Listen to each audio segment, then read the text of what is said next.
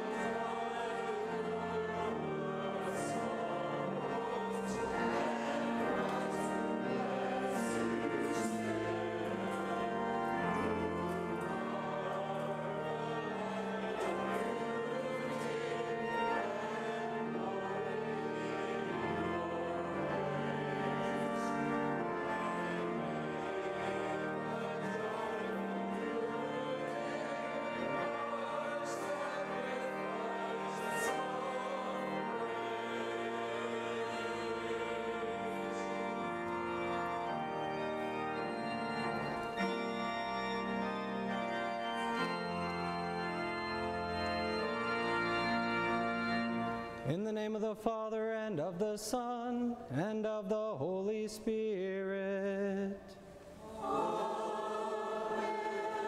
The grace of our Lord Jesus Christ, and the love of God, and the communion of the Holy Spirit be with you all.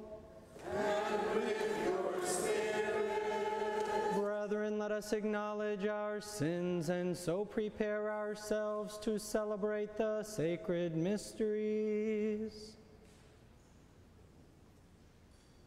I confess and to you.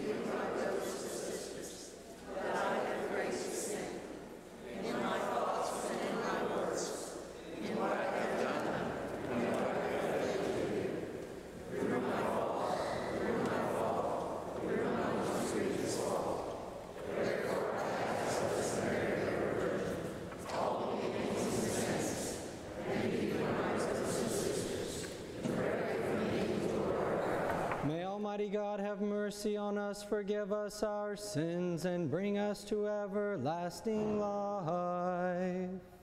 Let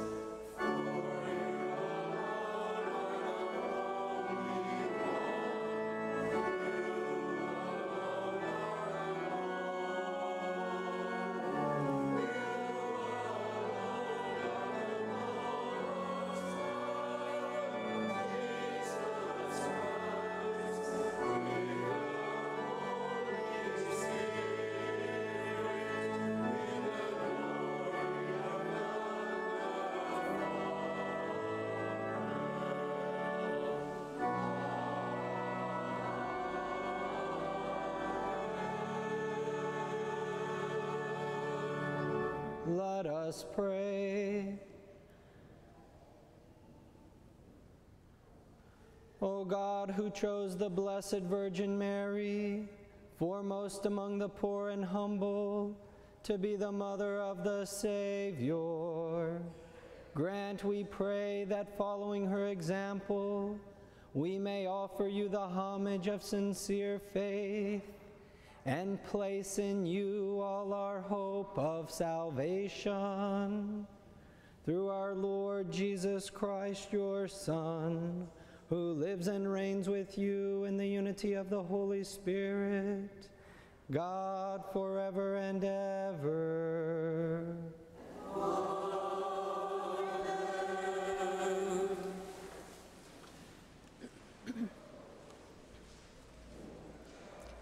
A reading from the Book of Wisdom. I prayed, and prudence was given me. I pleaded, and the Spirit of wisdom came to me. I preferred her to scepter and throne, and deemed riches nothing in comparison with her. Nor did I liken any priceless gem to her, because all gold in view of her is a little sand, and before her silver is to be accounted mire. Beyond health and comeliness, I loved her, and I chose to have her rather than the light, because the splendor of her never yields to sleep. Yet all good things come together in her company, and countless riches at her hands. The word of the Lord.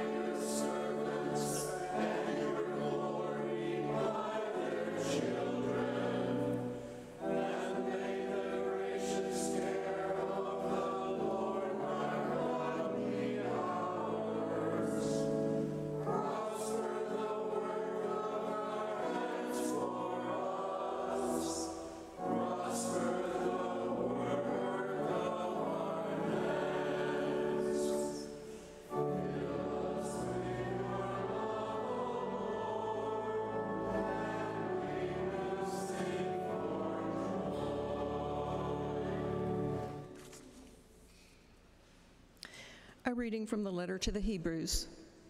Brothers and sisters, indeed the Word of God is living and effective, sharper than any two edged sword, penetrating even between soul and spirit, joints and marrow, and able to discern reflections and thoughts of the heart. No creature is concealed from him, but everything is naked and exposed to the eyes of him to whom we must render an account. The word of the Lord.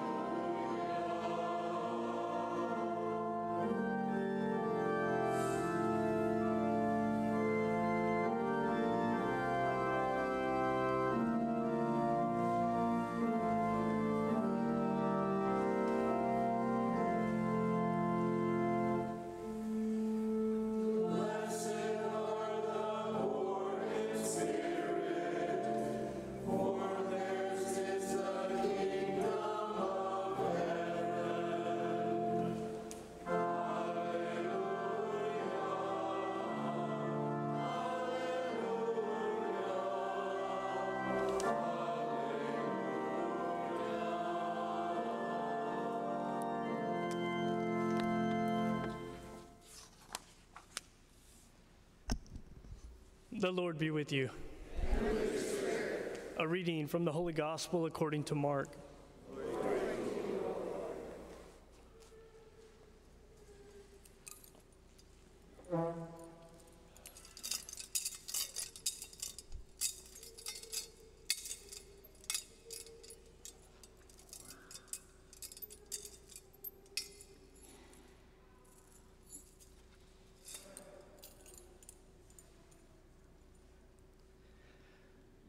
As Jesus was setting out on a journey, a man ran up, knelt down before him, and asked him, Good teacher, what must I do to inherit eternal life? Jesus answered him, Why do you call me good? No one is good but God alone. You know the commandments you shall not kill, you shall not commit adultery, you shall not steal. You shall not bear false witness. You shall not defraud. Honor your father and your mother. He replied and said to him, Teacher, all of these I have observed from my youth. Jesus, looking at him, loved him and said to him, You are lacking in one thing. Go sell what you have and give to the poor and you will have treasure in heaven. Then come, follow me. At that statement, his face fell, and he went away sad, for he had many possessions. Jesus looked around and said to his disciples, How hard it is for those who have wealth to enter the kingdom of God. The disciples were amazed at his words. So Jesus again said to them in reply, Children, how hard it is to enter the kingdom of God. It is easier for a camel to pass through the eye of a needle than for one who is rich to enter the kingdom of God. They were exceedingly astonished and said among themselves, Then who can be saved? Jesus looked at them and said, For human beings it is impossible, but not for God all things are possible for God. Peter began to say to him, We have given up everything and followed you. Jesus said, Amen, I say to you, there is no one who has given up house or brothers or sisters or mother or father or children or lands for my sake and for the sake of the gospel who will not receive a hundred times more now in this present age houses and brothers and sisters and mothers and children and lands with persecutions and eternal life in the age to come. The Gospel of the Lord.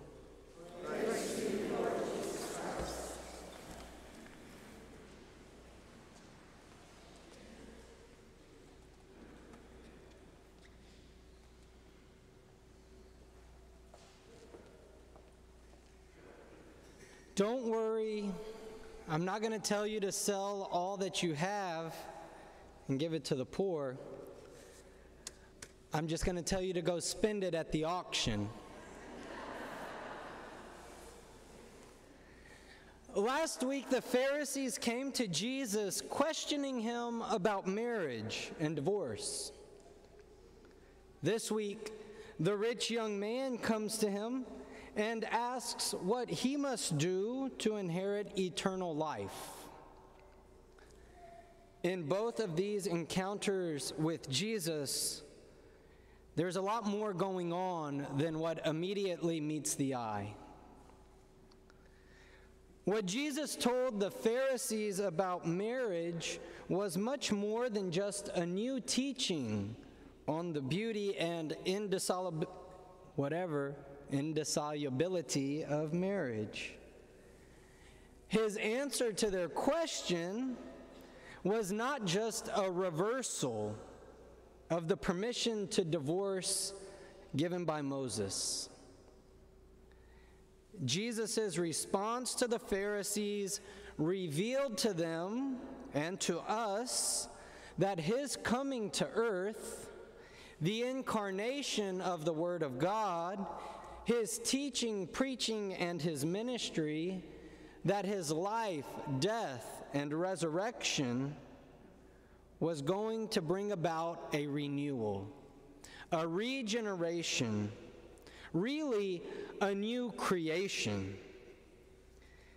Jesus was going to transform the hearts, minds, bodies, and souls of all those who believe in him. He was going to make us holy. The guy who comes to Jesus asking what he must do to gain eternal life is actually a lot like the Pharisees. He already knows the commandments. He's very familiar with what the law says. And he seems to be pretty good at keeping them. He desires to know the truth and to live it out. He wants to be faithful in the best way he knows how. What Jesus tells him is not just a condemnation or a warning about wealth and what it can do to a person who's attached to it. What Jesus tells him is not simply a teaching on the necessity of generosity or the benefits of being poor. Jesus is telling the rich young man that to be recreated, to be transformed, to be made holy, is about a lot more than just following the rules. Both the Pharisees and the rich man want Jesus to tell them what they can and cannot do, what is permitted, what is forbidden. They want a checklist, a set of rights and a set of wrongs.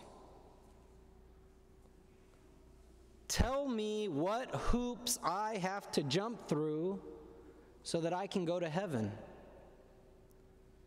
Tell me what hoops I need to jump through so that I can live forever. Our faith is so much more than commandments or beatitudes. Our faith is not just some list of rules by which we live our lives. Our faith is not just a set of hoops to jump through. Our faith is a relationship with the living God, Father, Son, and Holy Spirit. This is what Jesus reveals to us. I have come that you might have life, and to have that life in abundance.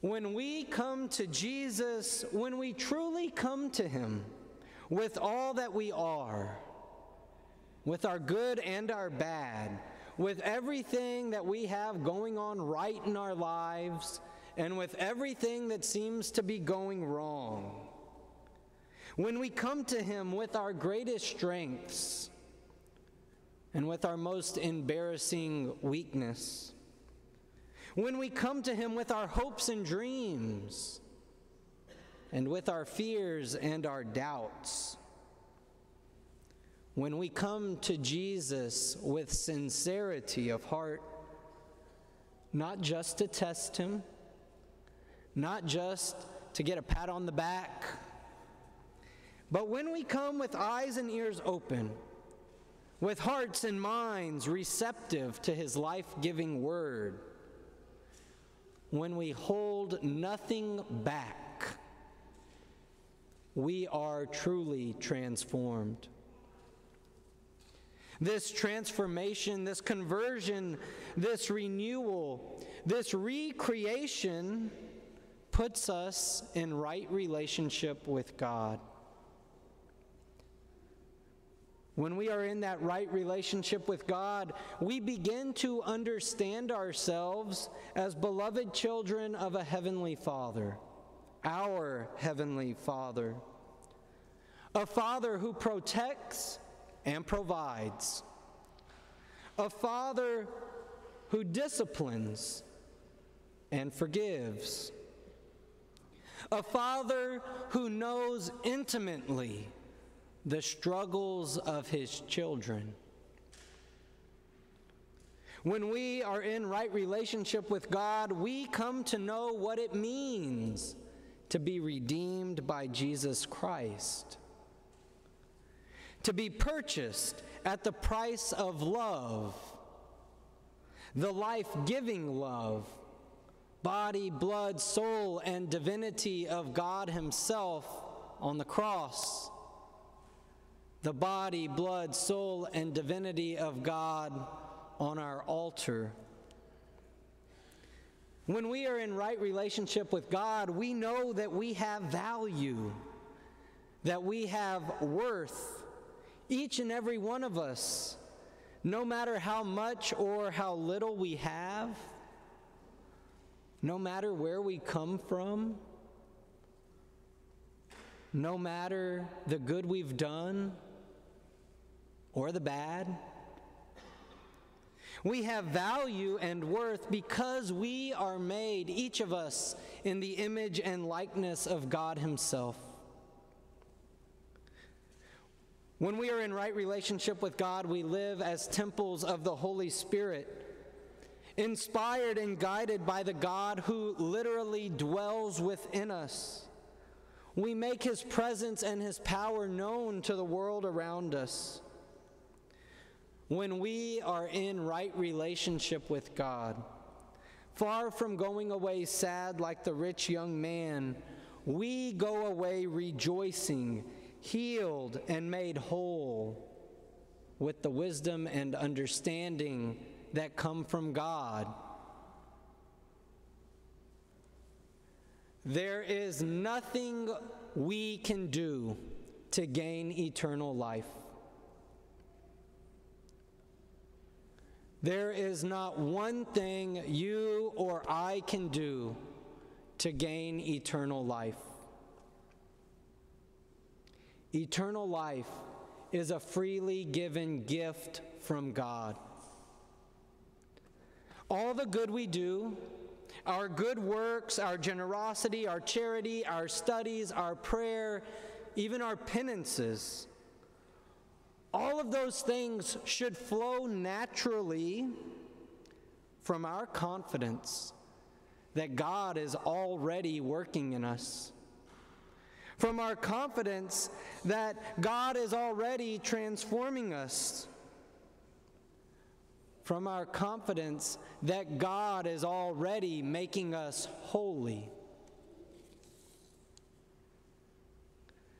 God is calling us to let go of all the things that we use and do to define and defend ourselves. God wants us to let Him define and defend us. Not our power, not our possessions, not our status not the good or the bad that we do. God wants us to let Him define and defend us with His words that are spirit, life, and truth. God wants us to know who we really are, who He created us and recreates us to be. God wants us to know that He is our source, that He is our origin. God wants us to know that He is our final end.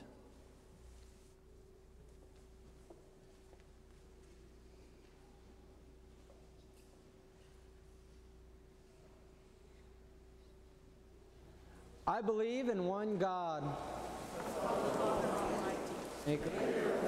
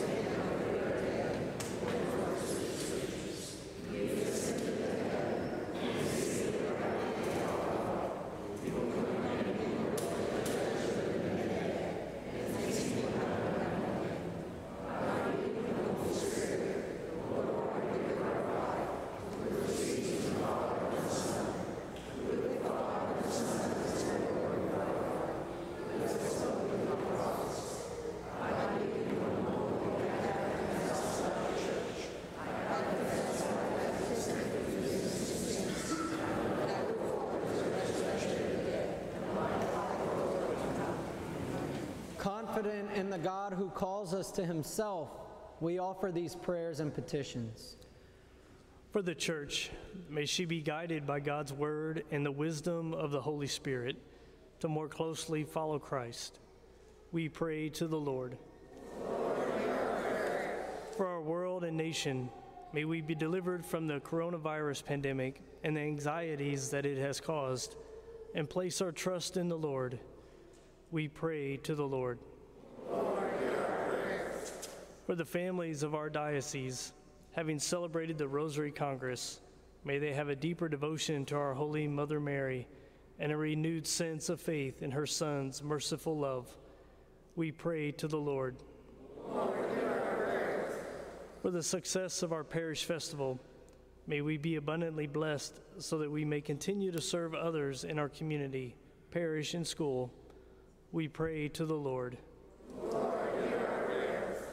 For the families of Donna Cortinas and Alice Krupa, may they be consoled by the Lord in their grief. We pray to the Lord. For the repose of the souls of Jean Hayek Sr., Jean Hayek Jr., and Bertha Garcia, and for all the faithful departed, we pray to the Lord. For the needs listed in our parish intention book, and for those we hold in the silence of our hearts.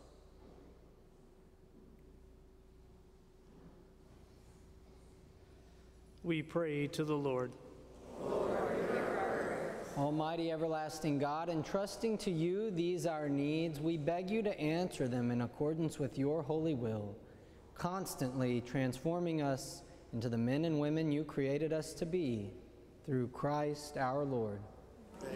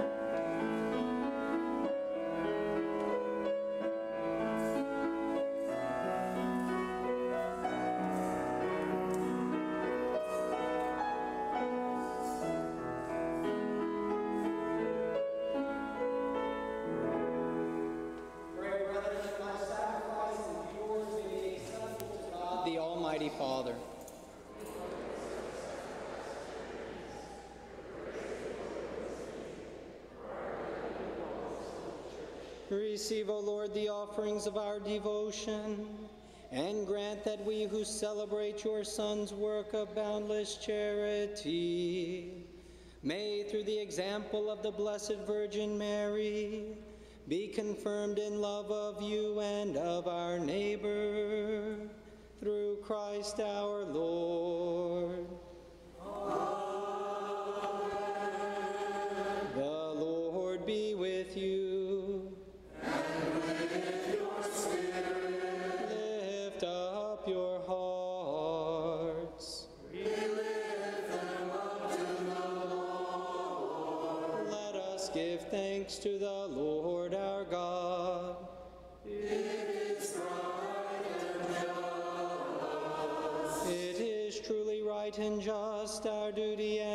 Salvation, to praise your mighty deeds in the exaltation of all the saints, and especially as we celebrate the memory of the Blessed Virgin Mary, to proclaim your kindness as we echo her thankful hymn of praise.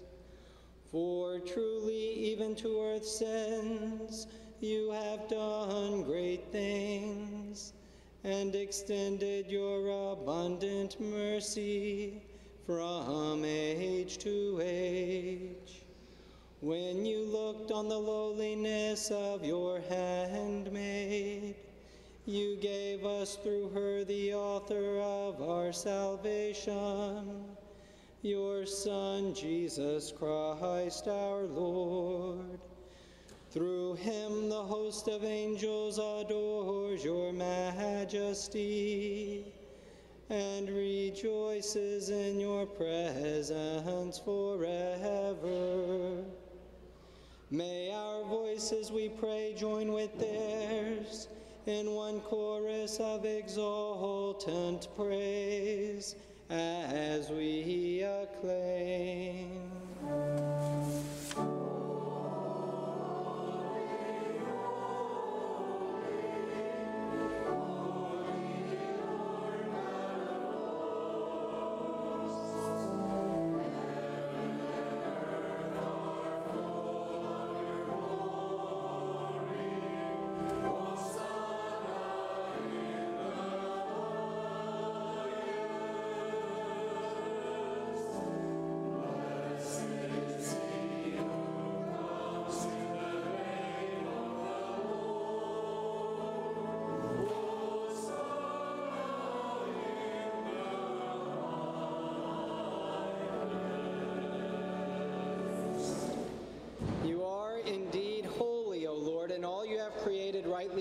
Praise. For through your Son, our Lord Jesus Christ, by the power and working of the Holy Spirit, you give life to all things and make them holy, and you never cease to gather a people to yourself, so that from the rising of the sun to its setting, a pure sacrifice may be offered to your name. Therefore, O Lord, we humbly implore you, by the same Spirit, graciously make holy these gifts we have brought to you for consecration, that they may become the body and blood of your Son, our Lord Jesus Christ, at whose command we celebrate these mysteries.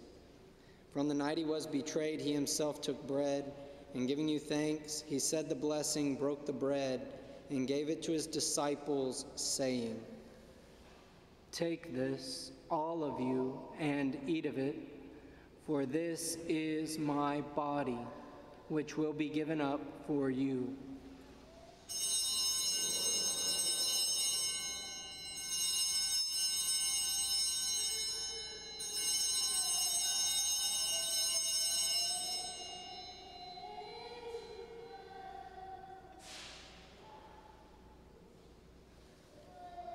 In a similar way, when supper was ended, he took the chalice, and giving you thanks, he said the blessing and gave the chalice to his disciples, saying, Take this, all of you, and drink from it, for this is the chalice of my blood, the blood of the new and eternal covenant, which will be poured out for you and for many for the forgiveness of sins. Do this in memory of me.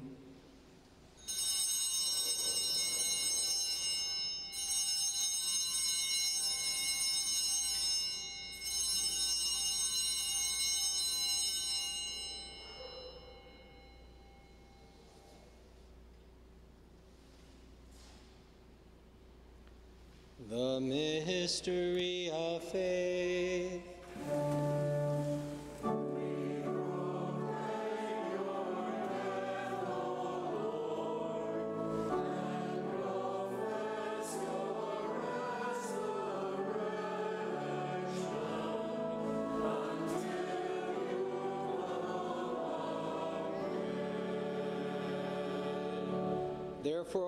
We celebrate the memorial of the saving passion of your Son, his wondrous resurrection and ascension into heaven, and as we look forward to his second coming, we offer you in thanksgiving this holy and living sacrifice.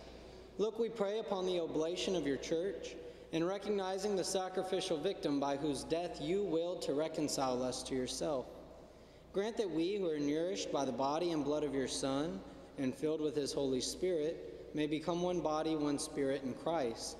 May he make of us an eternal offering to you, so that we may obtain an inheritance with your elect, especially with the most blessed Virgin Mary, Mother of God, with blessed Joseph, her spouse, with your blessed apostles and glorious martyrs, and with all the saints, on whose constant intercession in your presence we rely for unfailing help.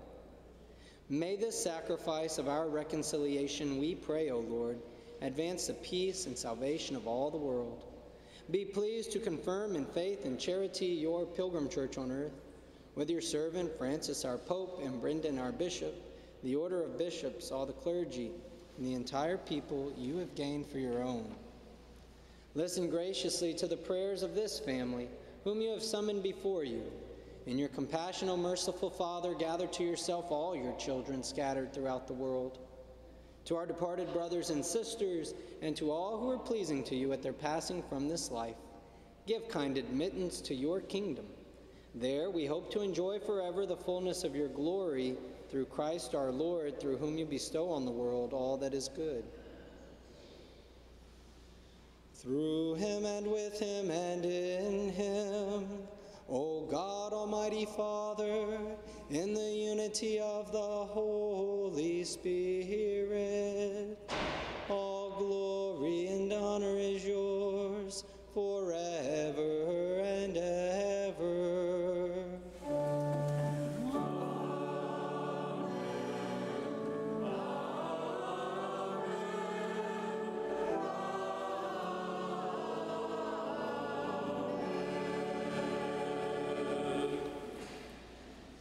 the Savior's command and formed by divine teaching, we dare to say, Our Father, who art in heaven, hallowed be thy name. Thy kingdom come, thy will be done, on earth as it is in heaven. Give us this day our daily bread, and forgive us our trespasses, as we forgive those who trespass against us. And lead us not into temptation, Deliver us, Lord, we pray, from every evil. Graciously grant peace in our days, that by the help of your mercy we may be always free from sin and safe from all distress, as we await the blessed hope and the coming of our Savior, Jesus Christ. Lord Jesus Christ, who said to your apostles, Peace I leave you, my peace I give you, look not on our sins, but on the faith of your church and graciously grant her peace and unity in accordance with your will, who live and reign forever and ever. Amen. The peace of the Lord be with you always. And with your spirit.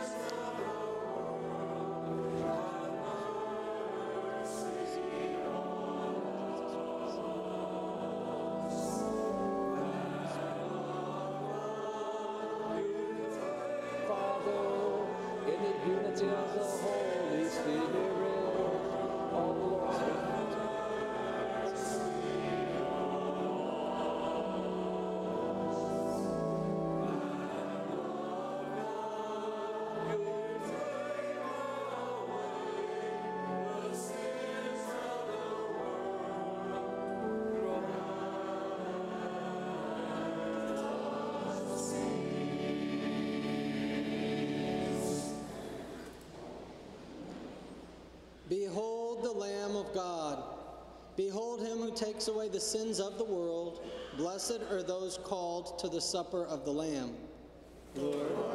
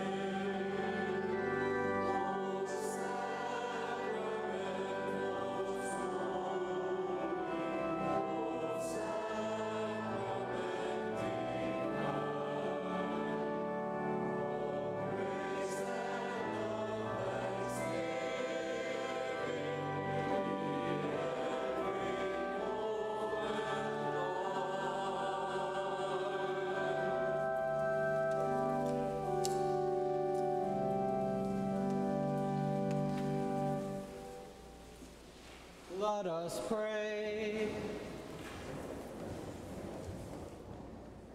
Grant to your church, O Lord, that strengthened by the power of this sacrament, she may eagerly walk in the pathways of the gospel until she reaches the blessed vision of peace, which the Virgin Mary, your lowly handmaid, already enjoys eternally in glory.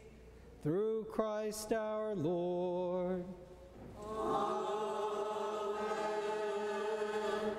Before the final blessing, a reminder that today is the day of our virtual auction for the Fall Festival. Um, you're welcome to come to the Cathedral Center after this Mass to view the items that are available in the auction, as well as visit the plant sale being put on by the Ladies Altar Society. So count this as your welcome, your encouragement, your invitation, your commandment, whatever it's going to take to get you to go over there and find something that you want to buy. It's the day that the pastor decides if I get to keep cable for the next year or not. So please help. And how about those Aggies last night?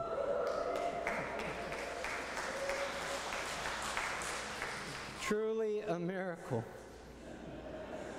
The Lord be with you. May Almighty God bless you, the Father, and the Son, and the Holy Spirit. Go forth, the Mass is ended. Thanks be God.